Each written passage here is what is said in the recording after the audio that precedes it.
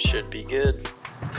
Okay, now that I've got my uh, cabinet frame in place that's holding up the hand sink, we're gonna start installing the drains, the faucets, and then finish up the drain plumbing.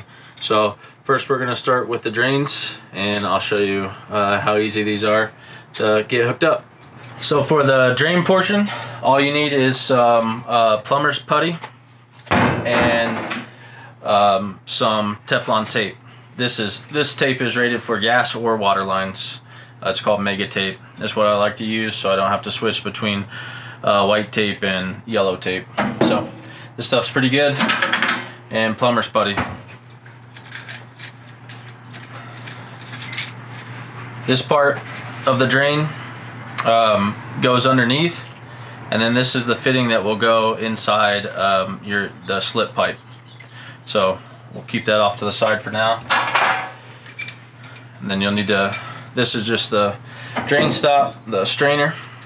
We'll set that off to the side. Unscrew this. So this is just to tighten up the drain to the sink. And then this is a O-ring seal that will go underneath the sink with the nut here. So uh, we're gonna put some plumber's putty inside the sink around here and then drop this in and then we'll use this part to tighten it up. So I just take a small amount of putty here, especially for this small drain, and we'll roll it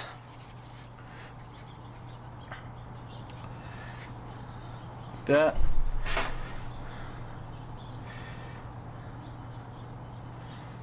Wrap it around just like that.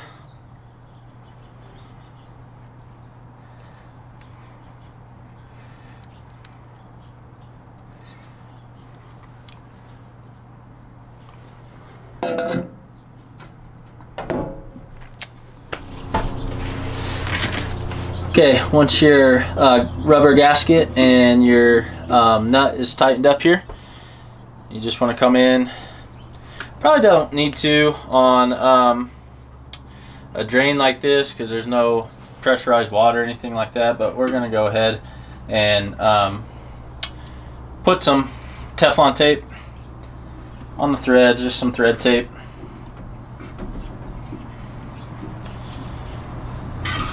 Do a few wraps around this.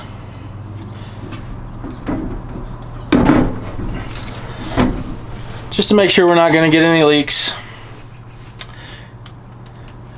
And then here, uh, you've got, this is called a tailpiece. You can see it's got the flange on the top.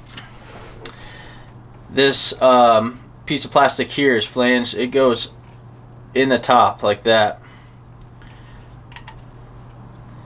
And then this will slide up the tailpiece to the top.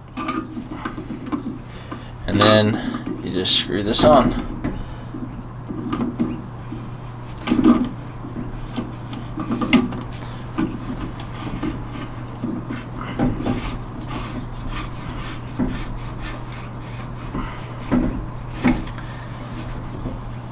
Get that on there nice and tight. So now this is ready um, for your drain pipe. So, so for the triple sink, we're gonna do exactly the same thing.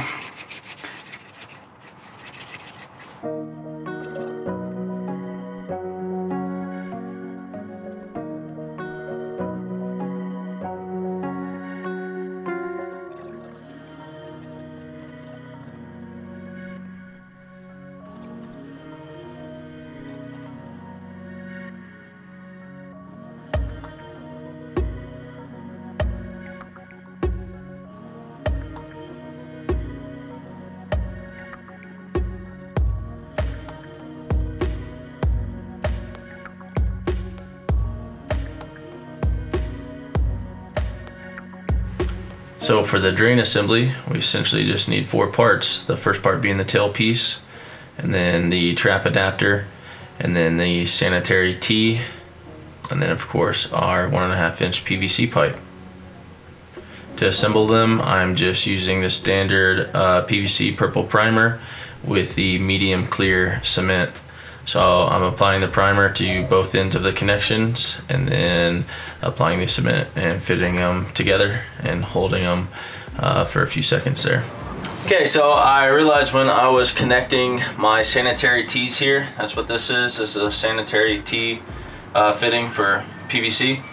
I realized that I uh, put the end one on the wrong way, so I went in and fixed that and uh, we flipped it. That way the water flow comes in here and then goes down into our P-trap because we are um, I'm going to connect a P-trap to the end of this. My health code department doesn't require it because we require the tanks, the gray water tank to be 15% larger than the freshwater tank. So theoretically there should be no risk of backflow into um, the sinks from the gray tank. But uh, you could still get odors in your gray tank with all the stuff that you're putting down your sinks and, and into the drain. So to prevent those odor gases from coming back into the trailer, uh, P-trap um, stops that. Um, and then on my mop sink, I'm actually going to install a HepvO valve, which is a waterless P-trap on it. So, uh, but for this setup, we're going to run a P-trap at the end of our connection here. Uh, I decided to get a P-trap with a clean out um, drain here. So uh, in the winter time, it's easy to drain the water out of the P-trap when you're winterizing it. And then if you get any gunk in here, it's easy to clean it. Um, so that's why we went with this here. So I'm just gonna get this all connected up and so uh, here is a look at the setup right now. We've got our hand wash sink coming down into that drain and then over into our three compartment sink and then into the P-trap and over into the main drain pipe with the air admittance valve.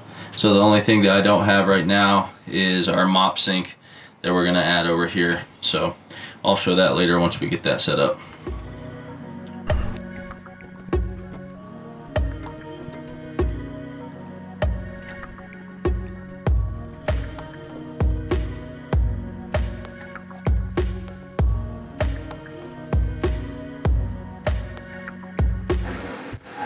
So here's a final look at the uh, drainage plumbing. So we got our main drain there going through the floor of the trailer and we're gonna uh, connect that to our gray tank. And then up top, we're gonna have a air admittance valve on the top of that. And it comes into the P-trap with a clean out drain and then into our first compartment of the three compartment sink. Over. And then up into our hand sink